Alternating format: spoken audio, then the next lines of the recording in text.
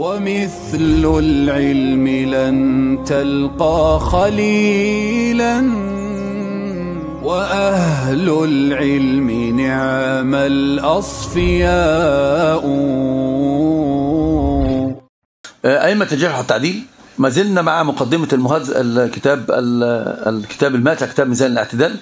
ما زلنا أيضا يعني مع مع مع الكلام على الانتهاء من أئمة الجرح والتعديل. سنأتي بمشكلات في الجرح والتعديل كأن يأتي فيه جرح يخالفه تعديل أو يأتي فيه تعديل وفيه غمز يحتمل الجرح ولا يحتمل الجرح. كل ذلك كيف ينظر إليه العلماء؟ كيف يتعاملون معه؟ هذه مباحث مهمة في الجرح والتعديل. ثم بعد ذلك مقدمة الإمام الذهبي نفسه ثم بعد ذلك الكلام على أول راوي تكلم عنه الإمام. وأيضا نبين يعني يعني نبل الإمام الذهبي في هذا التصنيف. حتى نتعلم نحن كيف نفعل. بدل ما إحنا رايحين جايين يعني نضرب في الناس ونطعن في الناس. ننظر للرجل الذي يقول هاتوا لي الطعنات عشان أنا أردها. من أجل الحفاظ على على عرض العلماء يكون نقيا.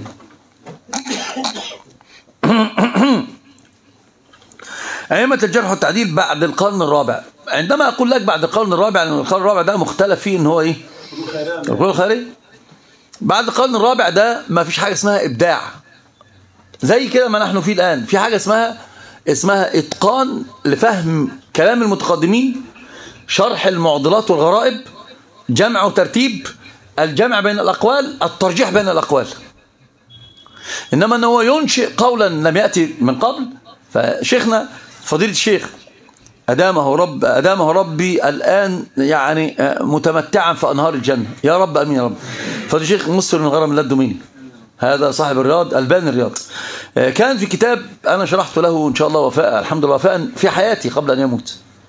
وعدت كلام مقيس ناخده مقيس مقيس ناخده متون السنة. عدت منه جزء أجزاء أيضا بعد مماتي وفاء له. كان له كتاب ماتع اسمه كتاب التدليس.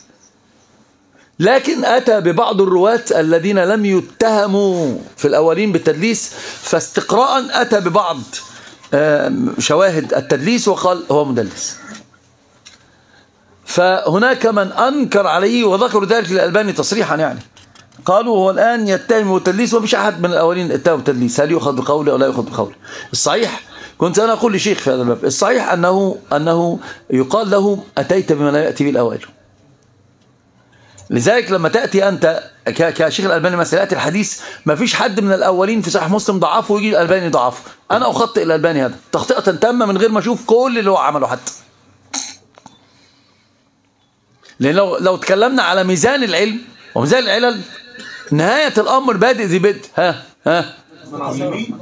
صاحب الرواية أصلا. صاحب الرواية مسلم. أما إذا كانت المسألة أن في حد تكلم والشيخ الألباني رجح التضعيف وبعضهم يرجح التوثيق أو التصحيح له في ذلك باع. لكن ينفرد لا لا يقبل. لا يقبل. يراجع الشيخ الألباني. نقول أخطأ الألباني في ذلك. أين سلفك في تضعيف هذا الحديث؟ ده في مسلم. ده الأمة بأسئلة تلقتها بالقبول ماشي الدرقني في الالزام التتبع الزامات في ألزامها الدرقني أصاب في بعض وأخطأ في الكثير. والدرقني بيقولوا عليه هو إيه؟ ختمت الحفاظ. ما فيش خل... انتهى ما فيش حد يأتي بعد. ومع ذلك لا أخطأ في الأكثر في المآخذ اللي تتبعها. في البخاري ومسلم الأكثر الحق مع من؟ مع البخاري طبعا أصلا الأكثر في البخاري إلا نادر أحرف يسيرة جدا. كان يقال الدرقني مالت كفته هنا لكن الباقي كله كان الحق مع من؟ مع البخاري مع البخاري. فلذلك كان يجي الألباني عندما يضاعف أحاديث في مسلم وأنا لم أرى أحدا من الأولين قد ضعفها لا يمكن أن يقال لا يمكن أن يقبل منه هذا القول. يرد ولو قلت لي وأنا الذي أقول ما في أحد في الدنيا إلى الآن استطاع أن يخرج تخريجات الألباني. ماشي؟ ومع ذلك مع توسعة التخريجات فإنه إيه؟ لا يمكن أن نقول أصاب مع الإمام مسلم بأنه يأتي بحديث لم يتكلم فيه يعني لو قال قائل مثلا إساءة أدب مني لو قال قائل إحنا كده ما يكونش فيه تحجير واسع؟ ليس تحجير واسع لكن هو الكلام إن أنت عندك كفة بالقرائن. القرائن تقول الأقرب للرواية صاحب الأحاديث ال- ال- الذي عاش آه، عمره وظهره للرواية وح- وحفظها وإتقانها وهو أصلا محتك بالذين صنعوا لنا قالب العلل وصنعوا لنا آه، قوام ال- ال- الإسناد. فاهم؟ والآخر كل اللي عنده اطلاع على أوراق. على أفعال الأولين. دي قرينة من القرائن تثبت إيه؟ وأنا دلوقتي جاء عندي اختلاف بين اثنين مسلم اللي فيه كل الذي قلت لك مع أنه من من القرون الخيريه الأولى اللي زكاه الله من فوق سبع سماوات اللي عاصر فيها كل من قارب الصحابة وتحت الصحابة. فاهم حضرتك؟ كل دي قرائن. وهو متأخر نعم أعطاه الله آه، فضل واطلاع وسعة اطلاع أيضا والحمد لله ديانة نحسبه كذلك والله حسيبه. لكن فقد التزكية من فوق فوق سبع سماوات. لما تيجي الكفه هنا إيش أفعل؟ لكن في الترجيح أقول لك يرجح نعم ناخد منه. ما هو ده ده, ده اجتهاد اهو الآن. لكن يأتي بشيء ما في شيء سبقوا فيه الأول. فبهداهم اقتدي فهمت نزل منزلة الإجماع نعم مش سكوته عن الراوي نزل منزلة الإجماع. سكوتهم عن الراوي إيش؟ سكوته عن الراوي لم يجرحوه ينزل منزلة الإجماع على إن هم إن هم ما, ما اتهموش بالتدليس؟ طبعا. يعني بالله عليك ده هيفوت كده من شعبة وهو جالس فاهم؟ شعبة وش قال؟ ده قام كده قال أيحسب واحد من هذه الأمة؟ ان ان يكون فيها التدليس في هذه الأمة وشعبة موجود. حسبتم بذلك؟ شعبة كان بيقول إنه يزني خير من يدلس. يزني خير له من أن يدلس. الشيخ كان لا يكتب الحديث إلا بعد يسمع من غير عشر مرات. ما هو دعك من هذا أصلا؟ هو هو ليش قال كفيتكم تدليس فلان وفلان وفلان؟ فهمت؟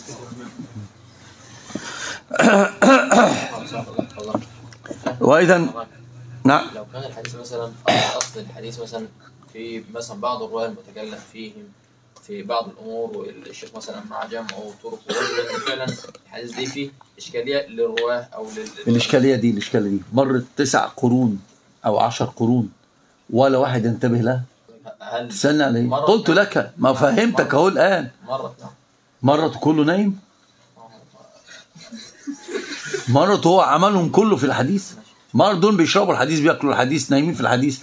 هم زينا انت فاكر دول؟ واحد كان بيقول لك أنا كنت بسف الأكل عشان ما ياخدش وقت. وانت قاعد حضرتك ده انت قاعد بتتكلم متنك عامل كده. قاعد بس في الدرس نفسه عامل كده. فاهم حضرتك؟ انت تحسب هؤلاء هؤلاء القوم انت ممكن يعني ذهنك كله يفور ماذا كانوا يفعلون؟ وهم يعني يعني يحافظون على على هذا العلم. فاهم يا بابا فاهم يا حبيبي؟ ربنا يرضى عنك. فهنا جل اعتماد علماء القرن الخامس فما بعده على ما دونه أئمة الحديث ونقاده وفي القرون السابقة. ورغم ذلك فبعض رجال هذا القرن الخامس لا يستهان بجهودهم في نقد الرجال وخاصة من أمثال الحاكم محمد بن عبد الله بن حمدوية بن نعيم الضبي أبو عبد الله النيسابوري صاحب المستدرك. ومع ذلك يعني قد انتقدوه انتقادات عالية جدا. لكن هذا توفي سنة 400 405 يعني هو في القرن الرابع أيضا. والحافظ أب- أبو بكر أحمد موسى بن مردوية الأصبهاني والحافظ أحمد بن عبد, بن عبد الله بن أحمد بن إسحاق المهراني واللي هو أبو نعيم الأصفهاني وأبو ذر حافظ عبد عبد بن أحمد بن محمد عبد الله أبو ذر الهروي. والحافظ أبو يعلى الخليلي أبو يعلى الخليلي بن عبد الله بن أحمد بن الخليل الخليلي. ده أيضا 446 كل دول يعني قبل القرن الخامس. هو الحافظ محمد بن أحمد بن حزم بن حزم بس ابن حزم أصلا شديد جدا. يعني جاهل الترمذي.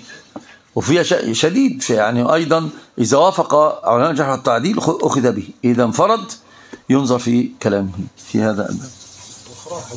وأيضا الإمام العلم الإمام البهقي حافظ المغرب ابن عبد البر النميري 436 463 آسف. أما البيهقي 458 ومن ذلك أيضا الخطيب البغدادي 463 كل الناس الذين جاءوا بعده عولوا على كتبه. ومن ذلك الحميدي 488 إلى أن وصل هذا العلم إلى القرن الثامن والتاسع آه، حظي بأئمة مهرة من الحفاظ والمعرفة والإتقان وكانوا من أعظم الناس نظرا لكنهم كانوا كالتابع للإيش؟ للأصل. ده الحق. كالتابع للأصل. كالذهبي. الذهبي والمزي والعراقي و... وابن حجر والسخاوي. هؤلاء لهم جهود ضخمة جدا في علم الرجال وكان الأصل في هذا الباب هو ما قلناه الجمع والترتيب والانتقاء وأيضا شرح المعضلات والقراءة التي تصل بهم إلى الترجيح بين أقوال أقوال أهل العلم. لذلك عصارة علم ال- الحافظ أو تعب الح- الحافظ في الرجال فين؟ في التقريب. في التقريب وإن كان استدرك عليه في هذا الباب. لأنه لخص لخص تهذيب الت- التهذيب لخصه بالتقريب بكلمة منه هو. التهذيب إيه الفرق؟ التهذيب بيعمل إيه؟ بينقل ينقل ينقل ينقل لأنه مختصر الم- المزي. اللي هو مجنون فين شوف الله عافية. افتقدته هنا. ها؟ ونادر شوف الله عافية فديناه. وصاحبك أنت فين؟ اللي بيحط البتاع على دماغه ده كمان. مش دماغه ده ذقنه عارف لكن أنا قلت يأتي. قلت له يأتي. عامة هؤلاء جهودهم عالية جدا. يعني كتاب شوف كتب الكتب التي كتبها الإمام ابن الذهبي التاريخ الإسلامي سير أعلام النبلاء. طبعا هذه على التعميم في هذا الباب الأخبار ولا لكن تعالى إلى إلى إيش؟ وما يقال بقى في سير أعلام النبلاء لا يقرأ لأن ما فيش أسانيد تصل به إلى إيه ده؟ مش ممكن. سير أعلام النبلاء هذا كتاب ضخم كبير جدا. وأحمد عطى قاعدة في هذا الباب. قال إن كان في الوعظ وإن كان في السير فإيه؟ سهلنا. في هذا الباب. لكن عندك ميزان الاعتدال. ميزان الاعتدال آم، ال- ال- الكاشف. خلينا في الرجال بس الأول. ميزان الاعتدال الكاشف آه، المغني. في الضعفاء يعني. المغني صحيح. وأيضا ها؟ كبير. ده الكبير ده بتاع البخاري يا عم الشيخ ابوس إيدك يا رياضة. خليك في رياضة. خليك في رياضة. كتب كتب قوية جدا. الحافظ بن حجر كتاب تعجيل المنفعه كتاب تهذيب التهذيب. طيب. كتاب كتاب كده في الرجال كتاب تقريب تقريب إيش؟ التهذيب في هذا. وطبعا كتاب زي ميزان الاعتدال إيه ده؟ أنا بكلم نفسي. إيه ده؟ ده أنا بتكلم ده كأن أنا ب... اللي نايم هنا. واللي قاعد بيبص للتاني كده وواحد هيسلم على واحد وهو جالس. يا جماعة.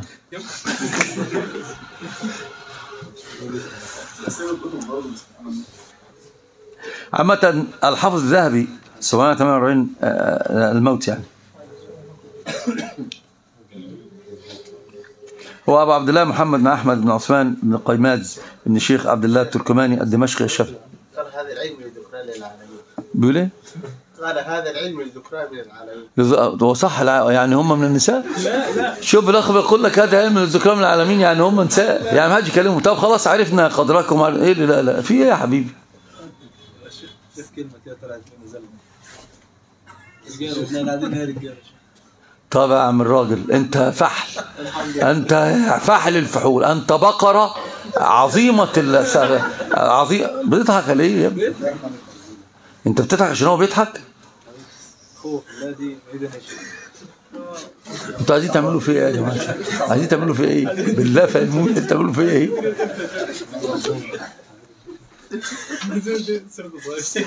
أقول لحضرتك على أقول لحضرتك والله مش قادر أمسك نفسي.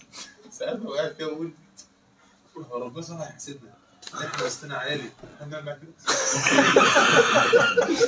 والله العظيم يا شيخ وليد يعني يبقى معانا ونبقى عن نفسي يعني. كده. أدامك رب على الخير. لا إله إلا الله. يا رب يا رب يجعلنا آه، يعني متح- متحابين في جلاله آمين. صعب صعب. صعب والله. شلل صح. سيدنا حضرتك قلت لي ده تكفير عن السيئات الله. بدأ في طلب العلم حين بلغ الثامنة عشر من عمره. صراحة شمس الدين الذهبي هو شمس حقا. هذا رجل فحل. آه، الإمام آه، الحافظ بن حجر يقول آه، أخذت النبي صلى الله عليه وسلم ماء زمزم ما شرب. شرب له شربت ماء زمزم حتى أصل لحفظ الذهب. حتى ارتقيت. أنا أقول لا. قد وهمت في ذلك ما في. الحافظ بن حجر لم يصل لحفظ الذهب. ولم يصل أيضا لإتقان الذهب. الذهبي أتقن منه جدا في مسائل الرجال. وأنا قارنت يعني كنت في الحمد لله في نعومة الطلب الطلب مع شيخ محمود عطية حفظه ربي وطلب في عمر احسن في عملي. دائما أتكلم مع الرجال وبين له أكتب في في, ال- في الأجندة وأبعث له. أقول أقارن دائما بالجملة التي يعطيها الحافظ والجملة التي يعطيها الذهبي. أرى الموافق في الترجيح كلام الذهبي ليس كلام الحافظ حجر لذلك أنت ترى بشار عواد ومن معه عملوا على التقريب إيه؟ تقريب. يعني عملوا كتاب التقريب تقريب اسمه تقريب التقريب. طيب وهو أصلا هو هم عايزين تقريب على تقريبهم. يعني حتى في استدراكاتهم على الإمام محمد حجر يستدرك عليهم فيها. ده الحق. لكن يستدرك عليه. لكن ليس هذا في الذهبي. الذهبي أتقن في الرجال من الحافظ ابن حجر.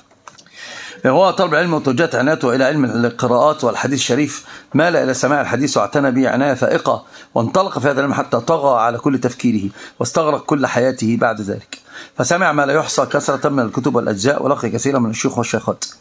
لقد حرص الذهبي على الرحلة إلى البلاد العامرة بالعلماء لكن والده لم يشجعه عليها وربما منعه في بعض الأحيان ولعل ذلك يعود إلى أن الذهبي كان وحيد أبويه.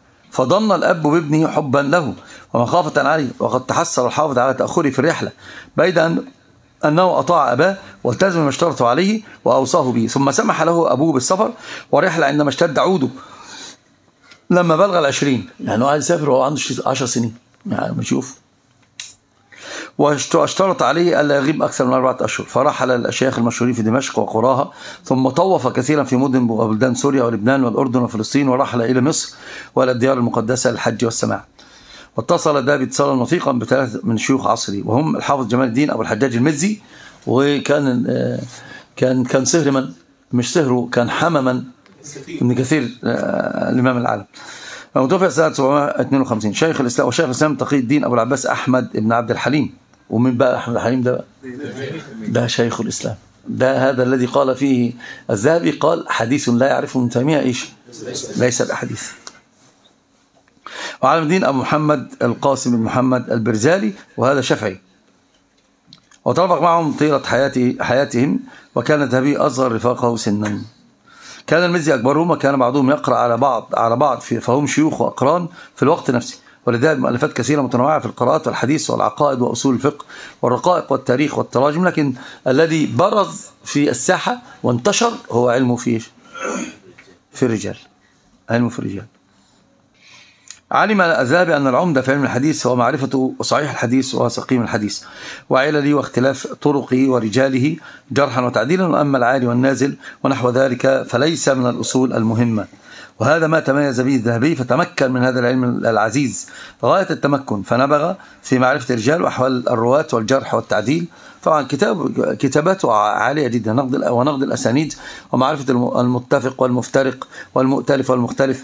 فجرح وعدل وصحح وعلل وفرع وأصل. قلنا في كل ذلك رجح رجح. واستدرك على الكبار وخالف الأئمة بالحجة والبرهان. نعم. فدخل في كل باب من أبواب الحديث وعلله.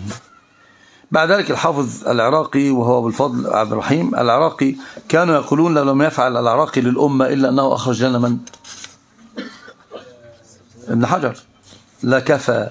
ثم ابن حجر ثم السخاوي هؤلاء هم عمدة العلماء في علم الرجال حتى لا أطيل. فالإخوة ترجع لترجمة هؤلاء العلماء ال ال ال ال النبلاء. ويبقى لنا بعض المباحث في علم الجرح والتعديل. في مسألة لو جاء الاختلاف في علم الجرح والتعديل كيف نرجح وهذا الباب؟ هو من أعظم الأبواب. يا طالب العلم قم لا تنم فإن الزمان أيا طالب العلم قم لا تنم فإن الزمان انقضى وانصرم. فكن ما حييت ضنينا به فظنك بالوقت عين الكرم. وكن حلس درسك وافرح به. تكن قائدا في غد للأمم وبادر شبابك من قبل أن يقطع عزمك سيف الهرم. ودع ما استطعت فضول اختلاط وأكل ونوم وقول يذم وصاحب نبيلا ولا تكثرن فكم مكثر يا أخي حرم وحقق إذا رمت شيئا ولا تسمن بوهمك ذات الورم رأيت العلوم وأصحابها لدى كل ذي فطرة تحترم. فإن رمت يا صاحبي رفعة بدنيا وأخرى فلذ بالقلم. وأخلص لربك واعمل بما علمت وإن تلقى فيه الألم وصابر وثابر ولا تكسلا فإن الهموم بقدر الهمم. فإن الهموم بقدر الهمم.